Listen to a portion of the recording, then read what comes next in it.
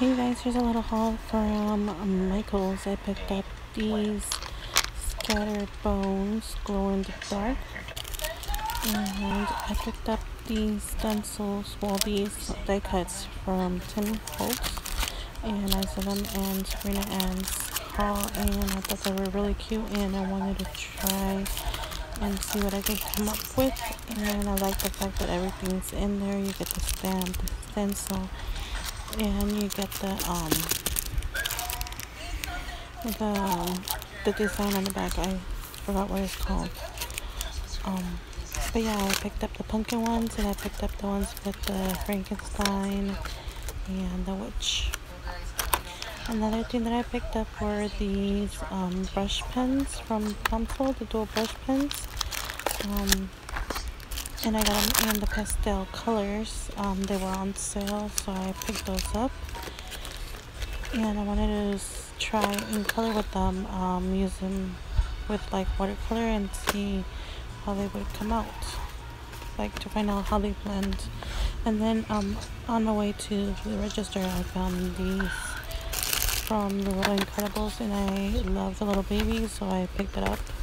I know, just gonna eat the candies.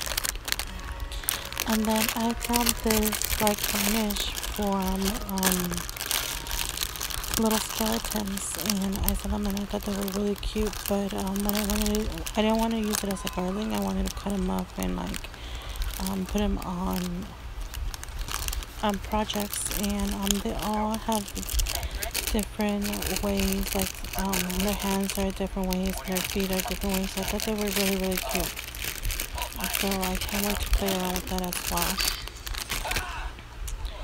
And I like the fact that they're white and black, so um, you can use them with any kind of color projects. Maybe do some um, Halloween little baggies and put those on there. I thought that would be really, really cute.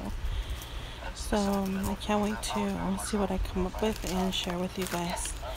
Um, I did stop by the Halloween sticker area. Um, I didn't get a lot because they weren't on sale yet, but I did get um, at least some of the ones that I thought that were super cute.